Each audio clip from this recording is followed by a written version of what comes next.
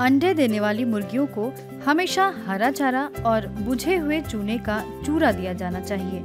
साथ ही, छह से आठ औंस की अनुपात में प्रति मुर्गी को पानी भी उपलब्ध होना चाहिए। आपकी जानकारी के लिए बता दें कि 24 घंटे में एक बड़ी मुर्गी लगभग चार औंस तक दाना खाती है। ध्यान रहे कि मुर्गियों को स्वच्छ पेयजल ही दिया जाना चाहिए।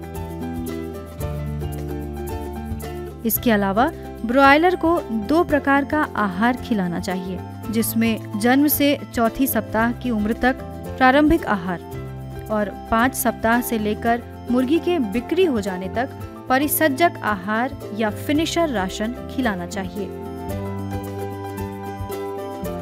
इन सामग्रियों के लिए मुर्गी पालक भाइयों को परेशानी लेने की कोई ज़रूरत नहीं। मुर्गियों के लिए बने ये आहार बाज़ार में आसानी से उपलब्ध होते हैं।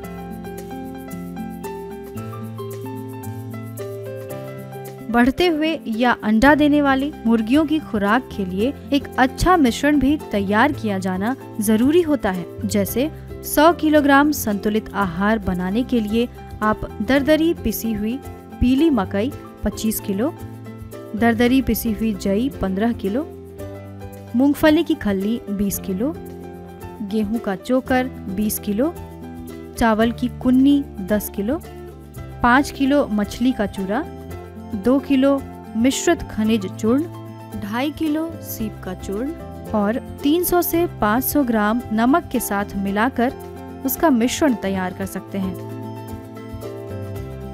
ये मिश्रण तीन औंस से चार औंस प्रतिदिन प्रति मुर्गी की दर से दिया जाना चाहिए। तो मुर्गी पालक भाइयों, हम ये कह सकते हैं कि इस अनुपात में मुर्गियों को आहार दिया जाना एक संतुलित आहार है।